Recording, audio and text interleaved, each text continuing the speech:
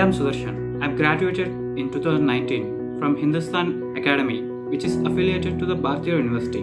Before joining to the CCBP program, I have zero knowledge about coding and programming, as I was graduated in Bachelor's of Business Administration. In my job, I'm not getting much opportunities to grow myself and develop my skills.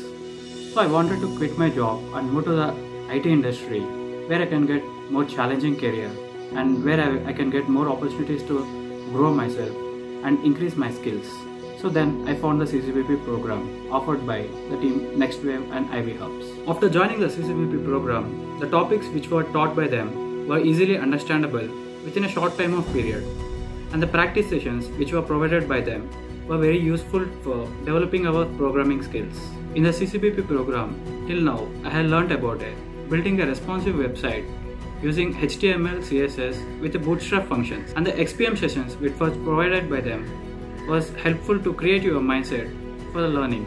The things I like in the CCBP program were the sessions which were provided by them were easily understandable and everything was taught from the basics and the practice sessions which were provided by them were very helpful to increase your programming skills. I would like to thank the team NxtWave for creating a, such a platform for learning.